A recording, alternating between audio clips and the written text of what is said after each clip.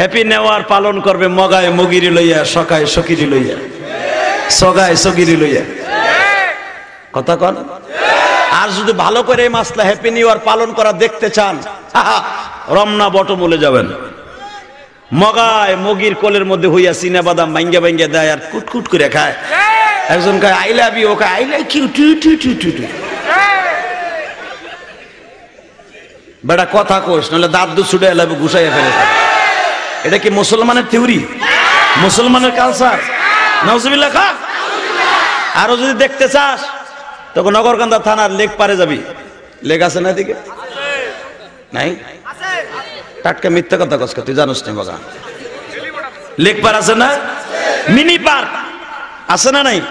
দেখবা, কবুতরের বাচ্চার মতো কি সুন্দর জোড়ায় জোড়ায় বয়ে দেখলে মনে হয় কুত্তায় কুত্তিরে লইয়া মগায় মগির লই বয়ে এগুলা তোরা কালকে করবি না? হ্যাঁ করবি। হ্যাঁ বেটা, সুন্নাত।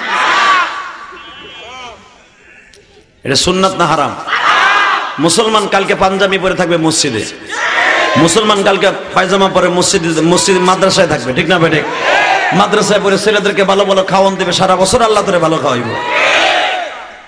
কালকে খাইবো, চিনা বাদাম, কুটকুট করে দেয়। বদমাইশি, কথা ঠিক না বেটে? আল্লাহ আমাদের হেফাজত করে আমিন। আরও জোর না আমিন?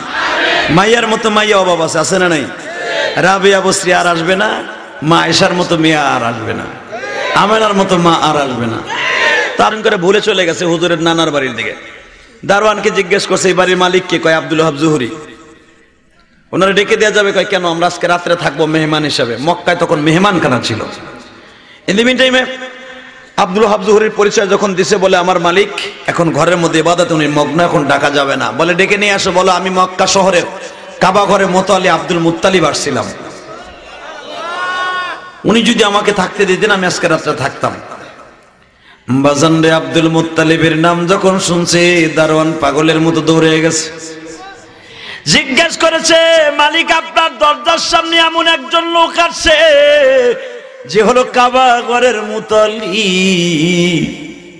বাক্কা শহরের প্রেসিডেন্ট।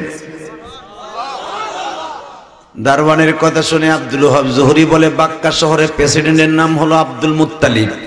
সেই আপনার দরজার সামনে। ওরে মগায় কয় কি? তার দাওয়াত দিয়ে আনা জানা, সে আমার দরজা দাওয়াত ছাড়াইব। কাহারে বলে আল্লাহ আনছে। দেখেই পরিচয় করে ফেলছে, আরে আপনারা তো আমি দেখেছি মক্কায়। আরে তো আমি কাবা ঘরের মুতাল্লি। দুই বন্ধু ফেস টু ফেস কথা হচ্ছে, ঘরের মধ্যে প্রবেশ করলেন।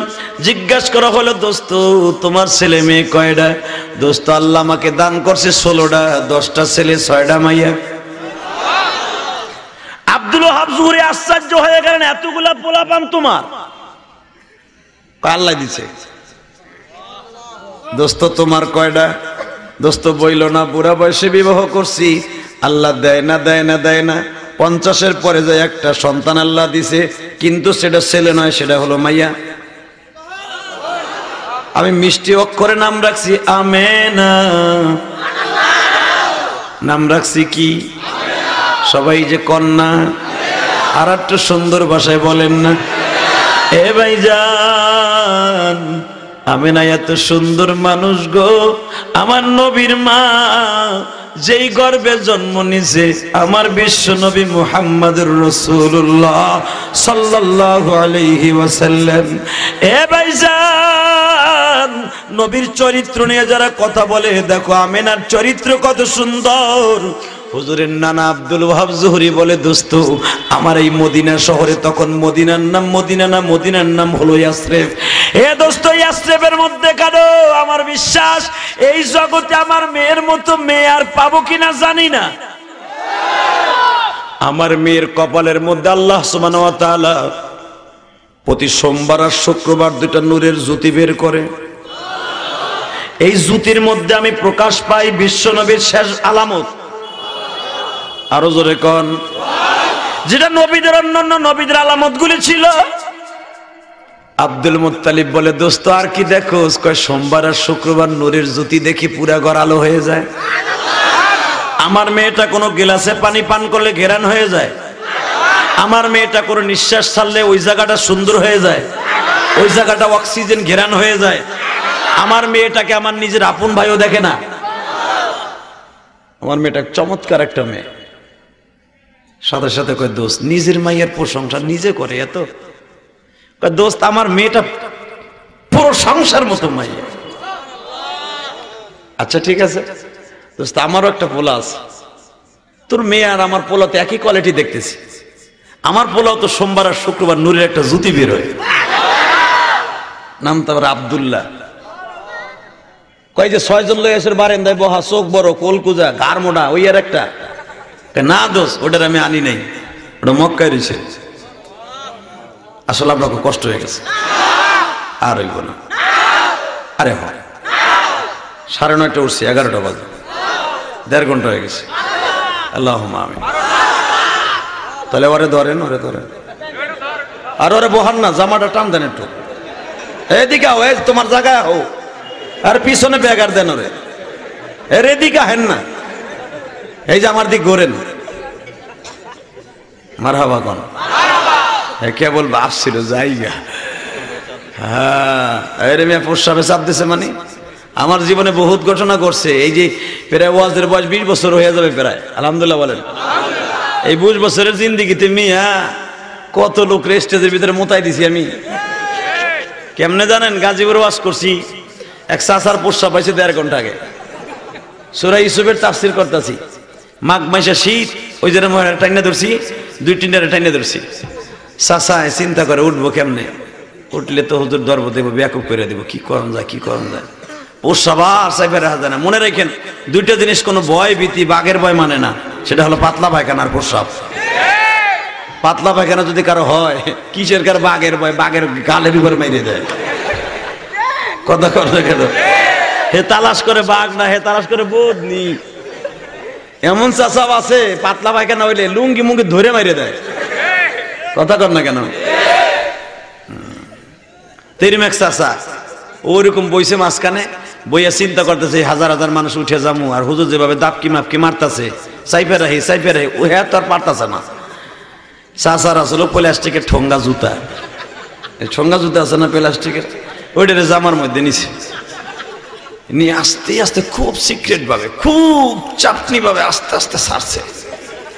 কিন্তু দেড় ঘণ্টা আগের চাপা জিনিস হয়ে আর গোপন থাকে স্যার স্যারে উঠছে। যখনই স্যার স্যারে উঠছে রে ভাই রে ভাই, পাশের তে দেখি মাহফিলের অর্ধেক খালি। এক যুবক কয়, চাচা। কথা কইস না, জেহাদি মোতাই দিছে। কথা কইস না। এই যে বলা হাইটা যে দূর মারছে রে ভাই, আমি সেই হুজুর। আল্লাহ আকবর বলেন। কষ্ট হইতেছে? আর আমি পাঁচ থেকে সাত মিনিট কথা বলব। আরে রাখ বেটা। ওই সারা রাত্রি এই কথা কইবা, সারা রাত চলবে? চলবে? তবে আমি এখন কোরআনের আয়াত পড়ব। আমার নবীর সানে আমার নবীর চরিত্র নিয়ে কথা বলব আমি কোরআন থেকে। আমি কোরআনের আয়াতটা পড়ব, যখনই আমি টান দিব, তোমার শরীরে শক্তি দিয়ে, সর্বোচ্চ শক্তি দিয়ে, আল্লাহ আকবর দিয়ে আমার মাবুদকে খুশি করবে। আর মাত্র একটা ঘন্টা পরে জাস্ট এক ঘন্টা পরে দুই হাজার উনিশ সাল বিদায় নিয়ে যাবে وإنك لعلى خلق عظيم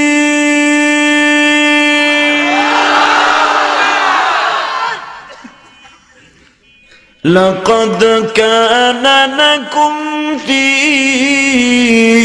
رسول الله يسوة حسنة لمن كان يرجو الله এই দুইটা আয়াতের তাফসীর করে বিদায় নিব ইনশাআল্লাহ বলেন আরে দোস্ত তোর মেয়ের প্রশংসা যে এই পরিমাণ করলি নাম কি আমিনা। নাম কি? জোরে কন্যা। আরে আমার নবীর মায়ের নাম বেটা।